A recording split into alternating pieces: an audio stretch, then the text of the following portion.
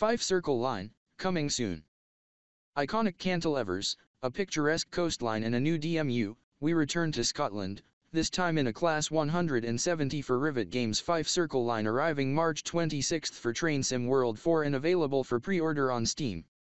The long-awaited introduction of the TurboStar to Train Sim World takes ScotRail's Class 170 variant through gorgeous Gaelic scenery out from the capital Edinburgh and through to the lowlands via a circuitous route.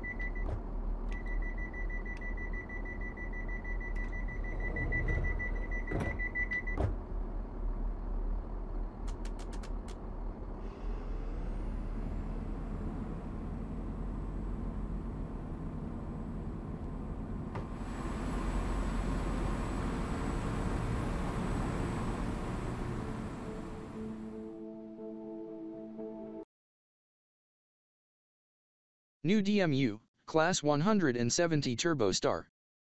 Climb aboard the ScotRail Class 170, a popular DMU throughout the UK, and serve the regions of Lothian and Fife on one of Scotland's last diesel-operated commuter lines. Known, along with other classes, as the Turbo Star the Class 170, has run across the UK from when the first units were built in the late 1990s and introduced onto various parts of the Scottish rail network over the next decade or so.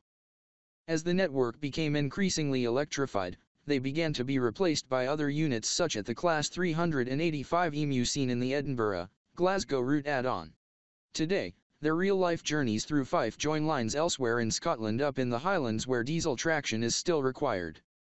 In-game, ScotRail's Class 170 comes complete with an auto announcer, as seen in the previous two route add-ons by Rivet Games. This operates similar to Bernina Lines whereby the player does not need to press buttons to activate them along the route. The cab also features functioning GSMR. You can read more about how Rivet Games have developed the Class 170, including use of photogrammetry in the first of their three dev blogs.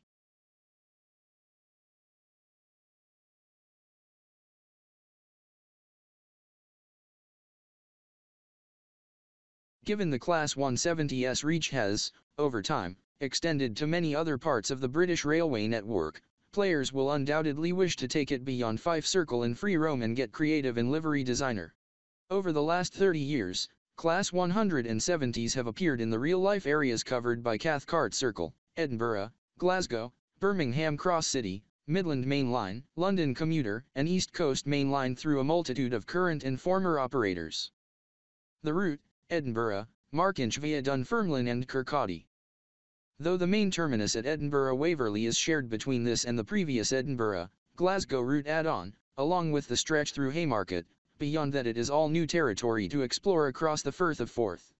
52 miles and 20 stations in all make up the extent of the route represented in-game. Between Haymarket and Edinburgh Park, the line branches north through South Gyle and Edinburgh Gateway, with the latter serving the nearby airport.